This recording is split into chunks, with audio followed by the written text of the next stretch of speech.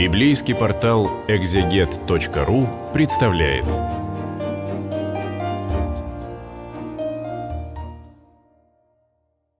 Здравствуйте. Это видео для библейского портала экзегет.ру. Мы продолжим разговор о послании апостола Павла к римлянам и обратимся к седьмой главе. Текст седьмой главы является самым непосредственным продолжением того, что было помещено при разделении на главы в шестую главу, и, конечно, э, пытаться понять его э, необходимо с учетом того, что Павел говорил в шестой главе. В шестой главе его главная картина, главный образ, который он пытался описать своему читателю, заключался в том, что мы крестились в смерть Христа, погрузились таким образом во Христа и в Его смерть для того, чтобы э, надеяться вместе с Ним воскреснуть. И это, говорил Павел, меняет наши отношения с Богом и э, с праведностью, потому что умирая для греха, погружаясь в смерть Христову, мы Э, перестаем быть рабами греха. Мы для него умерли, и его для нас нет. Э, просто потому, что все, мы умерли, и нас невозможно этим грехом никак привлечь. Но мы приобретаем дар праведности Божьей, дар праведности Христовой и дела святые.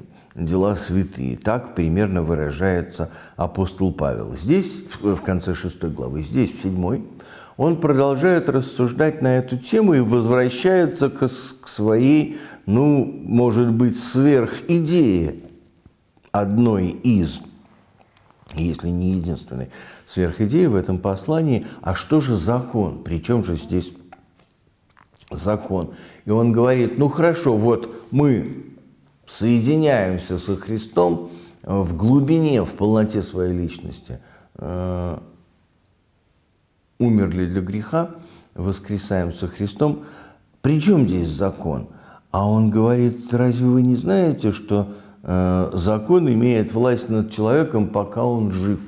И он обращается здесь, говорю, знающим закон. То есть в первую очередь, по-видимому, э, его аудитории, по крайней мере, в этой части его разговора, являются иудеи в римской христианской общине, те, которые Э, обучены и выращены, воспитаны в законе, и те, кто, возможно, считают необходимым этот иудейский закон совершать. Говорит, закон имеет власть над человеком, пока он жив. И тут э, в качестве такого э, примера, который, конечно, может прийти в голову только человеку, получившему блестящее фарисейское образование, каким и был Раби Саул из Тарса, вот он говорит, вот посмотрите, жена, муж, закон, брак, она ему обязана, муж умер, значит, вот э, все освобождается от закона, свободно от закона. Э, то есть он говорит о том, что закон – это способ ограничить да, или направить поступки человека – но до тех пор, пока человек жив, если человек умер, уже о каких поступках и о их регулировании может идти речь? Никаким образом. Умерший уже не подвластен закону, говорит апостол. Ну вот, так и вы, говорит братья, так и вы э, умерли для закона телом Христовым, чтобы принадлежать другому воскресшему, да приносим плод Богу опять снова уже Павел четвертый, наверное, раз пытается сформулировать одну и ту же мысль несколько по-другому. Он говорит, мы умерли для закона телом Христовым. И, конечно, хочется его спросить, а что, собственно, он имеет в виду? Потому что что на этой почве имеют в виду позднейшие христиане – читавшие апостола Павла, но не имевшие возможности поговорить с ним вживую. Это другой разговор, что имеет в виду Павел, когда он говорит, «Э, мы умерли для закона телом Христовым. Обратите внимание, что на самом деле по времени э, написания этого послания не предполагается, скажем, развитого учения о присуществлении. Оно еще только-только намечается, и его развитие и формулирование христианами, постижение христианами того, что есть Тайная Вечеря и Тело Христова, еще впереди. Представление о теле Христовом, которое есть церковь, принадлежащая Павлу, тоже, в общем, только-только намечается, и в основном его развитие еще впереди. И вряд ли Павел имеет в виду это. А, таким образом, умерли для закона телом Христовым для него, скорее всего, означает именно наше соединение со Христом в завете с Ним, в крещении. Вот э, теперь из другой картины или из другой формулировки следующий образ, способ выражаться у Павла, он говорит, мы умерли для закона, чтобы принадлежать другому, чтобы принадлежать не закону, а Богу. Значит, когда мы некоторым образом становимся телом Христовым или соединяемся с телом Христовым. Когда мы во Христе умираем для греха, мы умерли для закона, чтобы принадлежать другому. Кому ты раб, тому ты и служишь, говорил Павел в предыдущей главе. И здесь тоже он будет говорить об этом же. Мы принадлежим воскресшему, э, чтобы приносить плод Богу. Но по мере, помимо того, как, эм, как строится этот образ крестьянина перед Богом в главе апостола Павла, чрезвычайно важные на самом деле слова вот в этом четвертом стихе. Э, он говорит о цели нашей жизни, о цели э, заключения завета, о том, зачем мы стали христианами – чтобы принадлежать воскресшему из мертвых. Чтобы принадлежать воскресшему из мертвых. Это совершенно поразительно. И знаете ли, по-разному там люди отвечают на вопрос о том, зачем ты стал христианином или хочешь им стать. Иногда какие-то там корыстные мотивы, чтобы получить здоровье, или такие же корыстные, но более изощренные, чтобы избежать адских мук и так далее. Ну, по-разному можно отвечать на этот вопрос. Павел предлагает вот такой ответ. Мы вступаем в завет со Христом, соединяемся с Его телом, чтобы принадлежать воскресшему, чтобы уже сейчас, уже сейчас мы приносили плод Богу.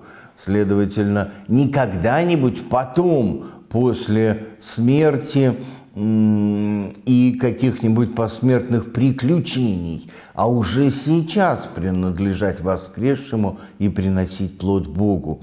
Это на самом деле фундаментальная установка, потому что если ты ее избегаешь, если центр тяжести, сокровище ваше, как говорит Господь, у тебя окажется где-то там потом в посмертии, в виде каких-то бонусов и плюшек, то, в общем, это путь, который не ведет за Христом. Павел очень точно угадывает, ну не угадывает, наверное, скорее формулирует по собственному опыту, в путь в том, чтобы сейчас принадлежать воскресшему. И вот он снова и снова переформулирует, еще раз объясняет, как бы в пылу полемики, действительно, как в очной дискуссии с некоторой аудиторией. Говорит, мы умерли, теперь умершие для закона, мы освободились от него, чтобы служить Богу в обновлении духа, а не по ветхой букве. Вот, собственно, к чему на протяжении двух, если не трех глав, шел у апостола разговор. Поскольку мы теперь умерли для закона, мы принадлежим воскресшему и э, соединились с ним в смерти в его воскресении, соединены. И э, Все, мы освободились от закона. Не закон отменился. Павел не хочет этого говорить. А, а мы освободились от закона. Нечто другое произошло, качественно другое, чтобы служить Богу в обновлении духа. И дальше еще он пытается э, с некоторой настойчивостью, удивительной, я бы сказал, настойчивостью, снова и снова объяснить все то же самое, э, обращая внимание на дополнительные нюансы. Вот в пассаже с 7 по 12 стих апостол э, снова говорит о том, что грех познается через закон. Если нет закона, то непонятно, что грех, но когда пришла заповедь, то и грех ожил, как он выражается. Грех ожил, а я умер. Таким образом, заповедь, данная для жизни, послужила мне к смерти. И впечатление такое, что в логической цепочке апостол запутался а, – и, в общем, непонятно, от чего ради весь этот разговор затеян. Скорее всего, это сформулировано в 12 стихе, «Посему закон свят, и заповедь свята, и праведна, и добра». И, в общем, не бросается в глаза, как это вытекает из того, что сказано в предыдущих э, стихах, в предыдущих фразах апостола Павла. И причем здесь то, что закон свят, и как это относится с тем, что грех, взяв повод от заповеди, обольстил меня утверд... и умертвил ею. Может быть,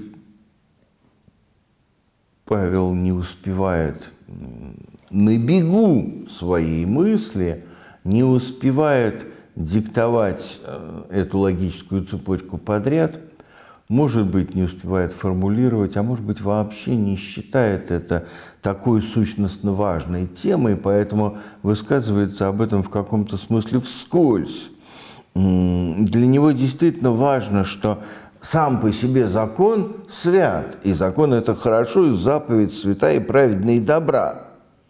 Но и дальше еще он будет говорить, что закон духовен, и снова захочется Э, весьма э, изумленно спросить его, что он имеет в виду и что он называет этим словом.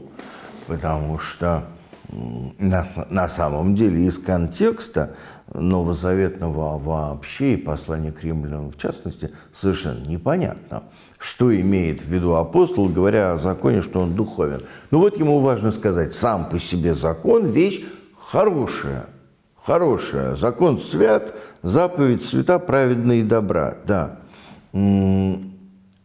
Но он уже выше сказал, что мы освободились от него. Мы не под его властью, мы э, по-другому э, теперь живем, соединившись со Христом в его смерти. Но Павел ведь трезвый человек, большой реалист, поэтому он дальше говорит, что ну, это на самом деле так Теоретически. Теоретически мы освободились от закона, который хорош, добр, праведен. А по факту, на самом деле, говорит апостол, но я делаю не то, чего хочу, а то, чего не хочу. Ибо не понимаю, что делаю, потому что не делаю то, что хочу, что ненавижу, то делаю. Он говорит, закон сам по себе хорош, а я не понимаю, что я делаю. И на самом деле э, имеется в виду, что я без закона не в состоянии понять, что я делаю. И делаю, говорит апостол, не то, чего хочу, потому что хочу сделать доброе, а получается э, все равно злое. Желание добра есть во мне, а э, чтобы делать оное того не нахожу. Доброго, которого хочу, не делаю, злого, которого не хочу делать. Десять раз одно и то же. Одна и та же мысль с разных немножко сторон повторяется, чтобы читатели могли на себя примерить, как действительно вот есть путь благодати Христовой, Его смерти и воскресения, вот есть закон, который тоже хорош. А ты что из себя представляешь? Ты во всем этом где? И читатель понимает, что мы хотели бы идти путем смерти и воскресения Христовых, но нам, нас даже на путь закона не хватает, потому что мы делаем не то, чего хотим, а то, чего не хотим. Павел говорит о внутренней цельности, о том, что все его предыдущее рассуждение про закон, благодать, умереть со Христом, воскреснуть с Ним, все это относится к цельной, целостной, э, самой себе равной человеческой личности, не раздробленной внутренне, так как раздроблены и мы, современные люди, и, в общем, люди Павловой эпохи. Вот в первую очередь, что существенно важное. Итак, э, Павел говорит, я обнаружил, что на самом деле э, реальный человек, реальный я э, вовсе не способен в такой логике существовать. Я нахожу закон или я открыл закон, что когда хочу делать доброе, прилежит мне злое, потому что я, кажется, говорит он, нахожу удовольствие в законе, а эм, даже понимаю, что какое хорошо и что такое плохо, идти по пути добра не могу. И вот в этой совершенной безнадеге э, апостол заканчивает седьмую главу сначала с таким громким сетованием «Бедный я человек, кто избавит меня от всего тела смерти?» А как было бы хорошо, если бы вот действительно ты выбрал Христа, умер для греха, воскрес с Ним и э, живешь э, рабом Божьим на дела святые и принадлежишь воскресшему. Да, а на самом деле ты даже понимаешь, что хорошо, ты даже понимаешь, что правильно было бы идти по этому пути за Христом, а не можешь, не можешь, не здесь, так не в одном, так в другом. Вот. И это действительно такой вопль безнадежности. Но э, Павел, э, когда говорит, кто избавит меня от всего тела смерти, он знает ответ. И говорит дальше в 25 стихе, «Благодарю Бога моего Иисусом Христом, Господом нашим». Он, э, для Павла важно, что, э, как он тремя уже главами раньше говорил, Бог э, явил свою любовь к нам в том, что Христос умер за нас, когда мы были еще грешниками. Он говорил о том, что вот э, Бог свою любовь доказывает к нам, что Христос умер за нас, когда мы были еще грешниками. Поэтому, говорит апостол, благодарю Бога, что Христос э, пришел за нами, чтобы Действительно, мы сейчас уже принадлежали воскресшему, сейчас, ничего не дожидаясь и не, несмотря на всю немощь и фрагментированность, так сказать, человеческой личности. Вот за это Павел благодарит Бога, за то, что из этой неспособности Э, жить и поступать в соответствии со своими взглядами, в соответствии со своими э, предпочтениями, желаниями, с э, тем, на что направлено сердце. Вот с этой неспособностью Бог справляется, принимая нас в завет во Христе Иисусе Господе нашем.